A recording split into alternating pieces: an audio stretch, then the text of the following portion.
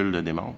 Mais il y a clairement un travail qui doit être fait de, tous, gouvernement, manufacturiers, concessionnaires, euh, pour, euh, pour poursuivre le, développement et l'information à propos de, ces technologies.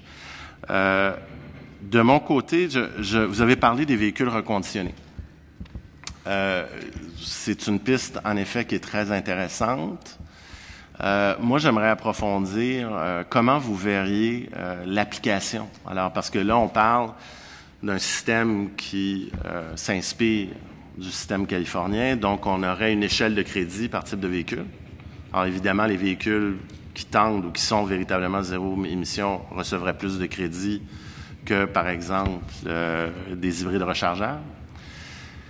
Alors, dans le, dans le cas d'un véhicule usagé, donc une flotte de véhicules usagés qui euh, serait, euh, serait rendue accessible au Québec, alors, on parle, par exemple, je crois que c'est des, véhicules, par exemple, des Nissan Leaf dont les baux ont été, euh, sont échus.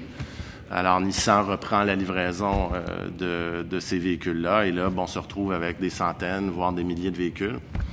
Euh, comment on reconnaîtrait dans un système de, de VZ2 ces véhicules-là? Parce qu'ils ont déjà fait l'objet d'une certaine forme de reconnaissance de VZ2 dans des États VZ, qui ont des normes. Alors, je voudrais juste comprendre comment vous, vous, verriez euh, l'applicabilité euh, de, notre norme VZ2 à ce type euh, de, véhicule-là.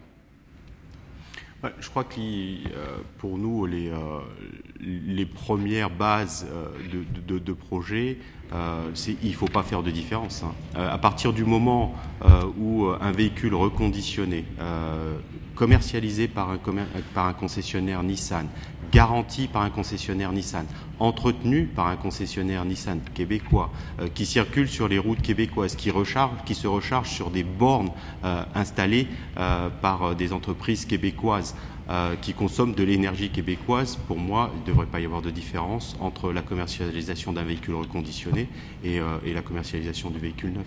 Puisque ça, d'après ce que j'ai cru cru comprendre, mais une fois de plus, euh, il faut rentrer un peu plus dans le détail des, euh, des règlements d'application. Euh, mais sur un principe général et fondamental, je pense qu'il ne faut pas faire de différence, puisque ça répond aux mêmes objectifs. Alors, dans, dans le cas, parce que vous parlez justement de, de, la préoccupation de certains consommateurs par rapport à l'autonomie des véhicules, si on parle de véhicules usagés, bon, par définition, ce sont des, des véhicules plus vieux, qui n'ont peut-être pas la même technologie, le même niveau d'autonomie. La technologie n'est peut-être pas aussi avancée. Comment faire pour bien rassurer le consommateur que ces véhicules-là, euh, justement, euh, n'ont pas à créer d'inquiétude au niveau de, justement, les préoccupations que vous avez soulevées? Le, principe de base, euh, c'est que ces véhicules doivent être commercialisés par Nissan, le concessionnaire Nissan. Euh, il ne faut pas que chacun puisse aller se, fournir, prendre, acheter.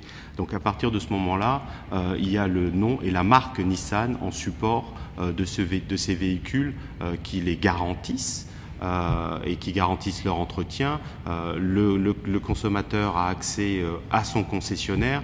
Donc ce, seraient des véhicules sélectionnés qui répondent exactement aux mêmes spécifications que les véhicules commercialisés au Québec. Par exemple, au Québec, nous commercialisons nos livres avec un module de charge rapide. Aux États-Unis, nous commercialisons, commercialisons des véhicules avec et sans. Les véhicules que nous importerions au Québec seraient tous avec des charges rapides. Donc euh, on, aligne les spécifications, on les remet aux normes, aux, normes québécoises. Ce sont des véhicules sélectionnés, euh, commercialisés, garantis, entretenus par les concessionnaires de la marque